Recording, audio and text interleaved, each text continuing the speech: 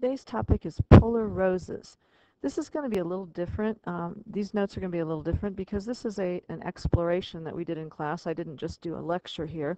So I'm going to kind of explain what was done and then I advise you to turn off the video for a minute and work on some things, try to figure some things out for yourself and then turn it back on to get to get the answers. So the first thing we're going to do, I'll do this one with you, is we are going to graph the equation r equals 3 sine of 2 theta and look to see uh, what some of the characteristics of this graph are.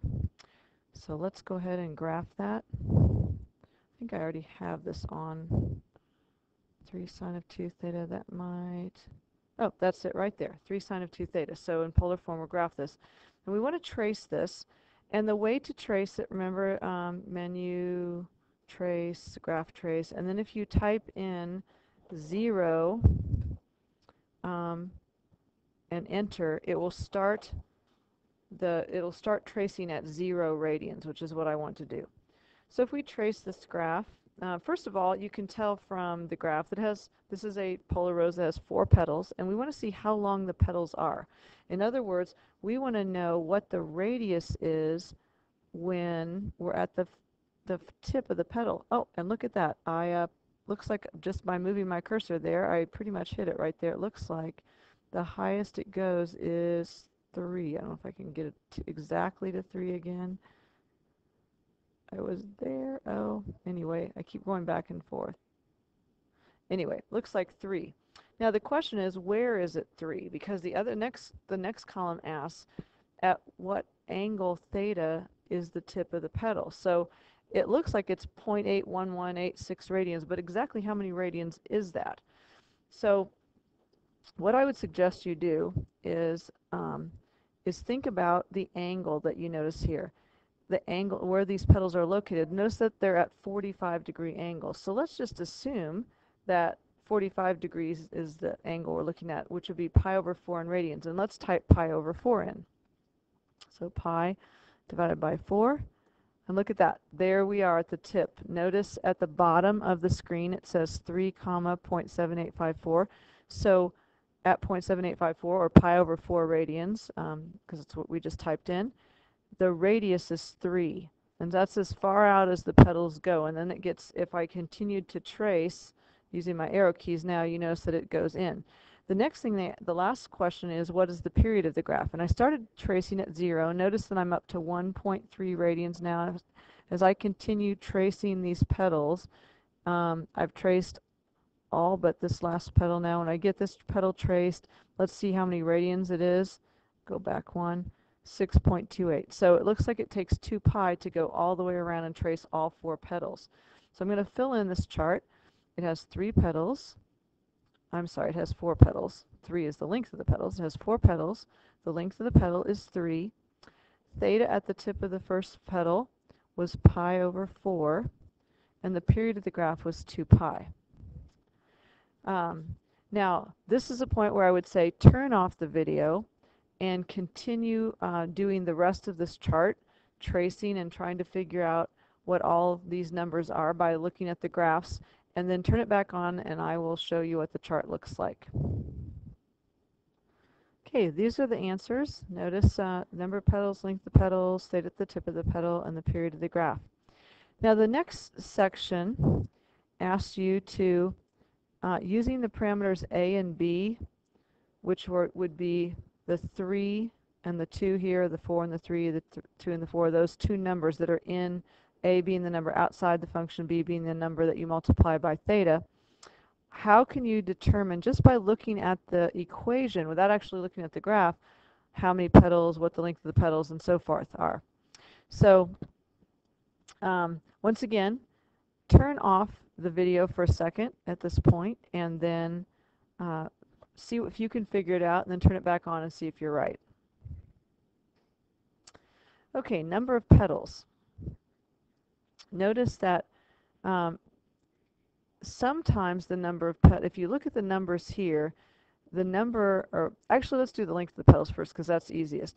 The length of the petals matches the number outside the sine function. That corresponds to the amplitude of a sine function in rectangular form. So that makes sense because amplitude is the distance up and down, whereas in the polar form, that is the distance in and out from the pole. So the farthest out it can go when the sine function equals 1 would be 3, 4, 2, or 3. So the, the length of the petal is just A.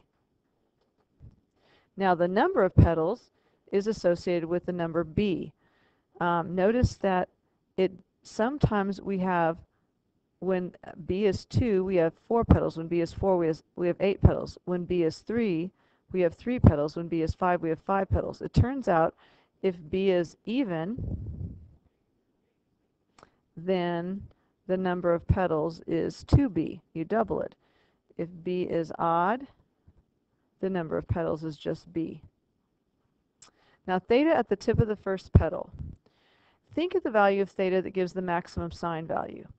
In order to get the very highest value of sine in a sine function, we need pi over 2. Sine of pi over 2 is 1. That's the biggest we can get. So what value of theta would make this pi over 2? Well, if I multiply, um, basically I want 2 theta to equal pi over 2. So I think, okay, if 2 theta is equal to pi over 2, um, sorry, not 2, 2 pi. 2 theta is pi over 2. Then theta has to be pi over 4. So 2 times pi over 4 would give me pi over 2. Same thing here. 3 times pi over 6 would give me would give me uh, 2 pi over 2. 4 times pi over 8 pi over 8 would give me 4 over 2. 5 times pi over 10 would give me pi over 2. All of those numbers give me pi over 2, which is why I have the maximum value or the, the length of the petal. So it turns out that pi divided by 2b gives me at, uh, theta at the tip of the first petal. Now the period of the graph. The period of the graph also goes with even and odd. If I have to double b to get the number of petals, it takes 2 pi to get all the way around the graph. But if I don't have to double b, um, then it just takes pi. So b is even 2 pi. b is odd is pi. Or sorry, just b, or pi. all right. Now, the next thing I want you to do, stop the tape. I want you to graph all of these equations up in the chart, only do them in cosine instead of sine. And then turn that back on and we'll, we'll take a look. Okay, let's take a look at cosine compared to sine. So I have up here on the left all of the, the graphs with sine and then the same graphs with cosine on the right. You kind of scoot that down so we can see. Um, so notice they've all rotated. Now, um, some students have attempted to figure out how much they rotated, but it really turns out that it's a different amount each time because it depends where that first petal was. The first petal was in a different place every time for sine. But notice where one petal is always located for the cosine graph. Notice that we have a petal at 0 degrees. There's a petal here at 0. There's a petal here at 0. There's a petal here at 0. Notice none of the sine graphs have a petal here at 0. By the way, this uh, graph right here is just the same as this one, but I just zoomed in a little bit. So why does it make sense that there is always a petal at 0 degrees?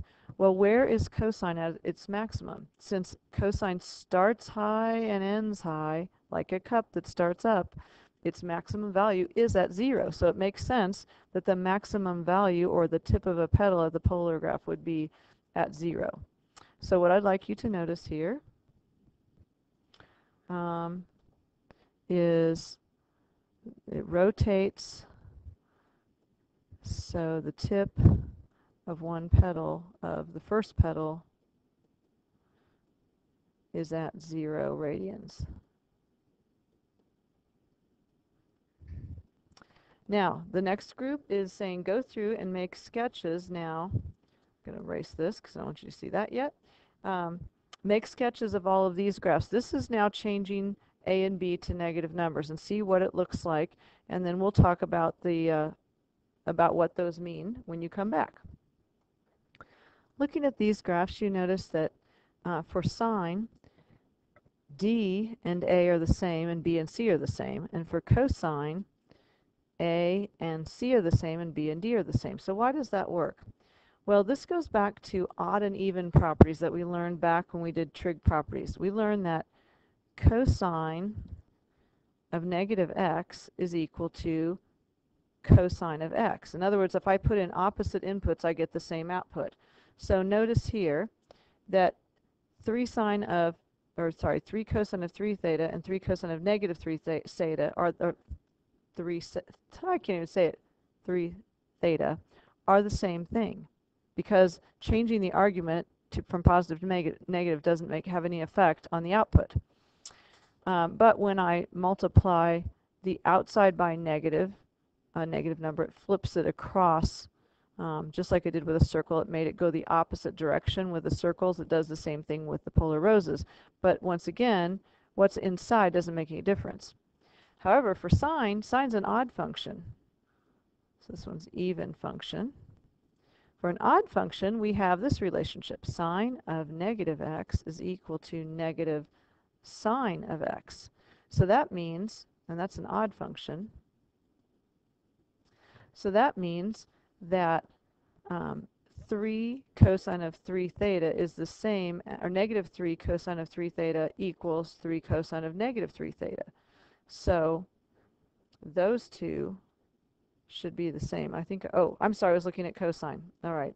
So negative 3 sine of 3, 3 theta and 3 sine of negative 3 theta are the same because they are odd functions.